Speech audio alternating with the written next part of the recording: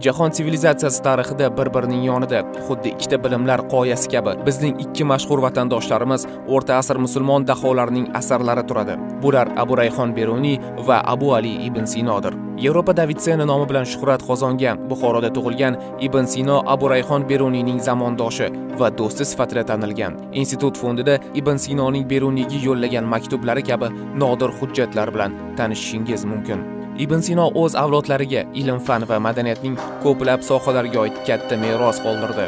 Bular falsafaga oid asarlar va ajoyib she'rlardir. Senda jingalak soch va qora ko'zlar evaziga nima bor?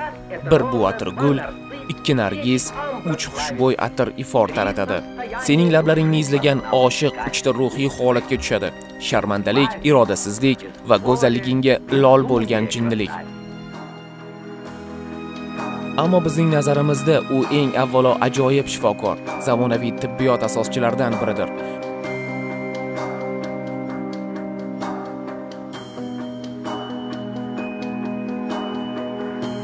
Uning asosiy kitobi bo'lgan kitobul qonun fittib so'nggi asrlarda minglab marotaba turli mamlakatlarda chop etilgan va ko'plab tillarga tarjima qilingan. Iltimos ushbu kitobni shogirdim jurjoniyga berib qo'ying ehtiyot bo'ling uning orasida mening qonunimning yangi yozilgan sahifasi bor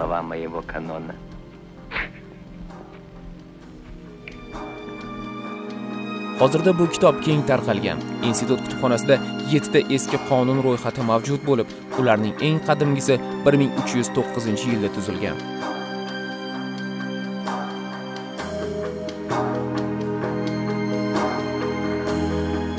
ushbu qo'lyozmani bir qator kamchiliklari bilan institut 1969 yilda andijon yaqinidagi asaka shahrida sotib olgan.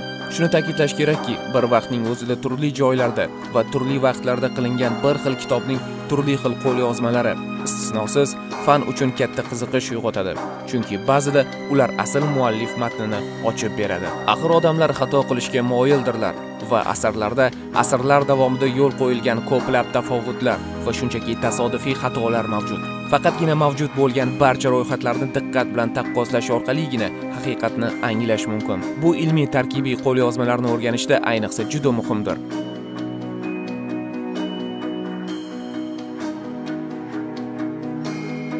Shu nuqtai nazardan institut qo'lyozmalar fondining asl bezagi ziji jadidiy ko'ragoniy bo'lib o'rta asrlarning buyuk astronomi mirzo ulug'bekning ko'p yillik mehnatlari natijasidir.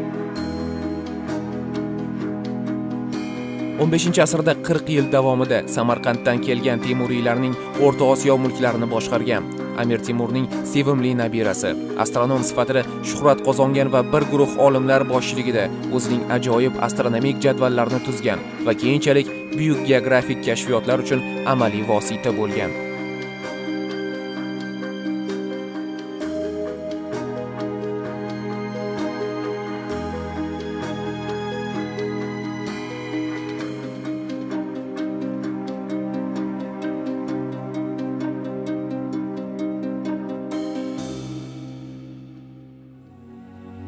Mirzo ulug'bekning yulduzlar jadvalining institut fondida saqlanadigan to'rtta qadimiy nusxasi orasida qo'lyozma olti asr oldin hindiston qog'ozida mayda kalligrafik nasx xatida bitilgan qo'lyozmasi mirzo ulug'bekning eng yaqin hamkori astronom ali qushchining qo'li bilan yozilgan. Bu mohiyatan avtograf bilan taqqoslanadi chunki bir qator tadqiqotchilar uchun qo'lyozmani muallifning o'zi tahrir qilgan degan gaplar bor.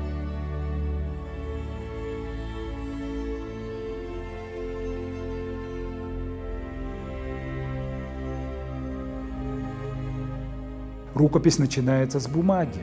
qo'lyozma qog'ozdan boshlanadi eng yaxshi qog'oz namunalari samarqandda ishlab chiqarilgan samarqand qog'ozi islom dunyosida mashhur bo'lgan bu qog'oz arab dunyosida va butun musulmon dunyosida qadrlangan birinchidan u qurtlamaydi juda kuchli va barqaror qog'oz ikkinchidan ularda siyoh yoyilib ketmaydi va hatto har xil sifatdagi siyoh bilan yozish mumkin u turli xil siyoh turlarini osongina qabul qiladi oltin suvi bilan yozganlarni yoki oltin rangda bo'lganlarni ham masalan hirotdagi miniatyura. Taniqli musulmon miniatyurachisi behzod o'z miniatyuralarini samarqand qog'oziga yoki xitoy ipagiga yozishni afzal ko'rgan. Qo'lyozma an'analari odatda qog'ozdan boshlanadi.